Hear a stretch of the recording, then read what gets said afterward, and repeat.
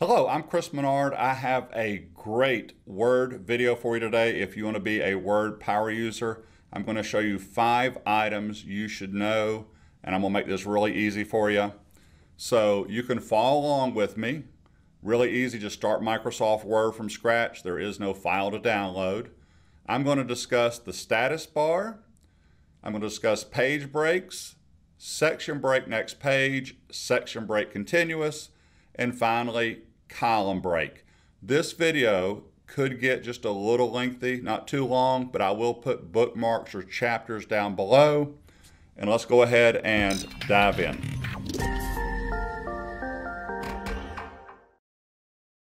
So we've got Word going, we got a blank document. I'm gonna click on page one. My status bar is at the very bottom. Notice my zoom is in the bottom right corner and in the bottom left corner is page one. I want you to turn on the word section. It is not turned on by default. So just right click on your status bar. There's all your customized status bar options. If you notice, the second from the top says section. I'm going to click it. Click back in your document. Look in the bottom left corner, and I hope it says section one next to the word page, and it does. Every Word document has at least one section. I'm gonna keep this simple. I'm gonna type my first name, press enter. I'm gonna do an equal symbol, R-A-N-D, open and close paren, no spaces, press enter. That'll put random text on your screen. So I wanna make a page break. I see people do this all the time and it drives me crazy. Enter, enter, enter, enter until they get to that next page. I hit backspace, by the way.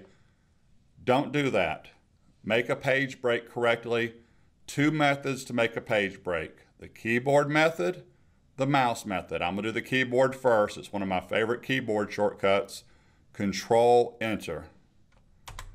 Look in the bottom left, I still have section one, but now I have page two of two. I'm gonna do an undo, Control Z. If you are a mouse person, by default you'll be on the Home tab go to the Layout tab. The very first group is called Page Setup. That is a group. In there is the word breaks, and I'm covering page, column, section break, next page, section break, continuous. You need to master these. There is page break, exactly the same as control enter. Click it once, and now we are on page two. I'm gonna just type in my last name and press enter. I could keep on typing on this page. So when would you use a section break? Next page. Here is a great example. I've got two pages. They're both portrait. I need the third page in my document to go landscape. A page break is not any good to you.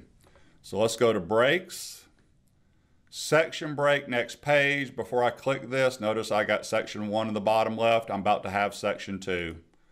And I do. The page, it looks just like a page break. I'm actually going to type in page three here to keep up with this. And it is portrait, which is what page one and two are.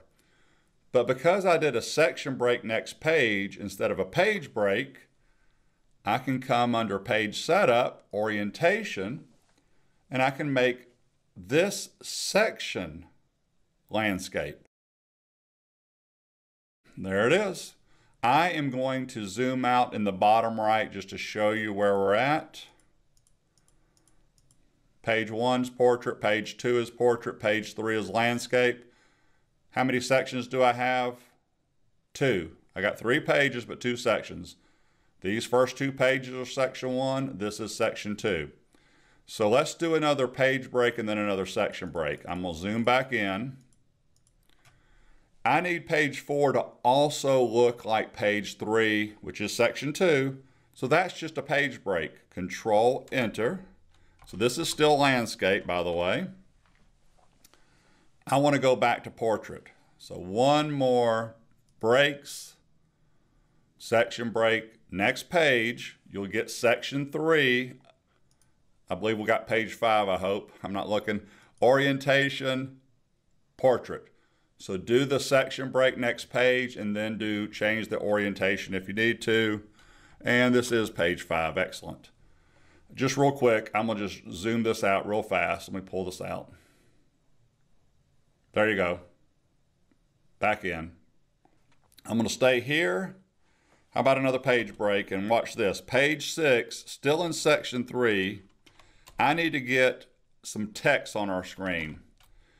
We did equals rand open and close to start this video session, but I need multiple paragraphs. I'm making this up.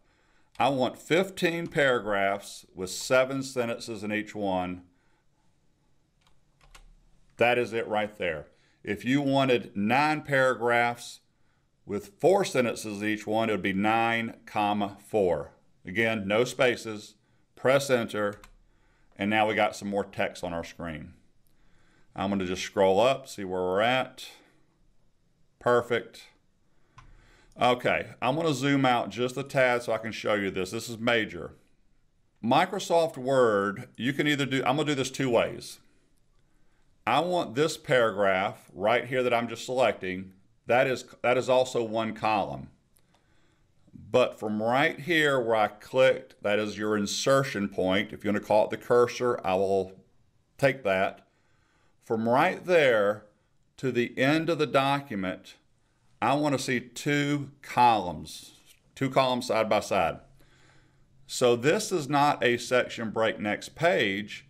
This is going to be a section break continuous. And look what it says here. Inserts a section break and starts the new section on the same page because that first paragraph needs to be one column, the rest needs to be two. When I click this, so before I click it, notice I've got section three in the bottom. It's because it looks like nothing happens when you click this. Watch this. But it gave me section four. So now I can make everything else two columns, three columns, whatever I want to do, two columns.